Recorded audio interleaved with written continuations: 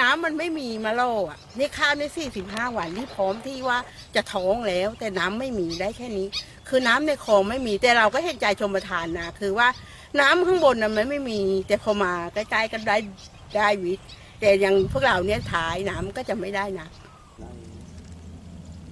ที่เป็นที่เป็นแบบนี้ห้าร้อยไร่ที่เป็นไปดูหลังบ้าน เลยหลังบ้านนี่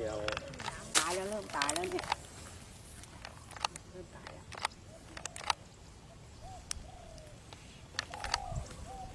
หญ้ายังไม่โตเลยหญ้าจะทนขนาดไหน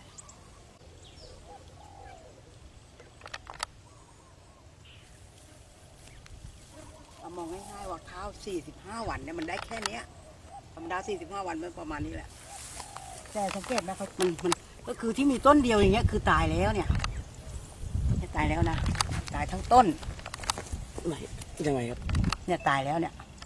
ตายทั้งต้นเลย แต่ถามว่าพวกนี้ก็กำลังรอวันตายเนี่ยอย่างนี้อย่างนี้ก็ตาย ที่ไม่ได้แตกก็คือจะตายเนี่ยแต่ถามว่าอย่างนี้ล่ะ อย่างนี้ล่ะ อย่างนี้ก็รอรอรอให้เหี่ยวลงมาเนี่ยจะที่ที่เหี่ยวไปแล้ว แต่อย่างนี้ตายแล้วก็ เลยสองใบอะทานได้มานั่งคุยที่ที่บ้านเลยเมื่อวานนี้นะ บอกว่าน้ำจะปล่อยมาวันที่ 29 คาดว่า 30 เนี่ย จะถึงจะถึงคลองหนึ่งกว่าแล้วที่แยกขึ้นสี่กว่า ถามว่าถึงไหมถึง แต่ว่าวิทย์ทั่วกันไหมไม่ทั่ว เพราะว่าวันที่สามก็จะปิดแหละวันที่สามก็จะรอบเวรอื่น ส่วน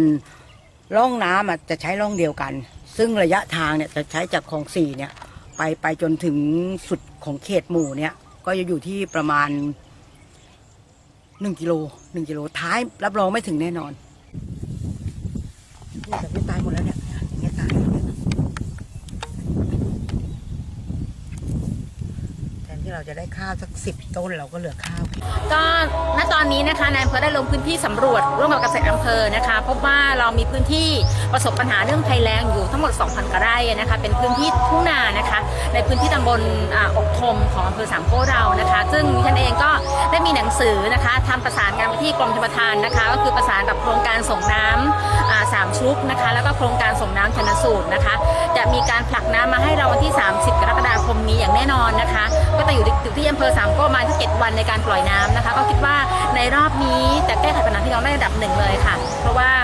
ถ้าเราไปดูพื้นที่ท่านคะจะเป็นความแห้งแล้งที่มันเกิดจากภัยธรรมชาติจริง ๆ แล้วก็พี่น้องเองก็รับทราบแล้วก็ไม่มีการร้องเรียนท่านคะในรอบนี้แค่แจ้งให้นายอำเภอลงไปช่วยเหลือดูแลค่ะ ก็ถือว่าเราช่วยเหลือดูดูแลได้ระดับหนึ่งแน่นอนนะคะสำหรับอำเภอสามโคกเรานะคะ แต่ว่าคิดว่าหลังจาก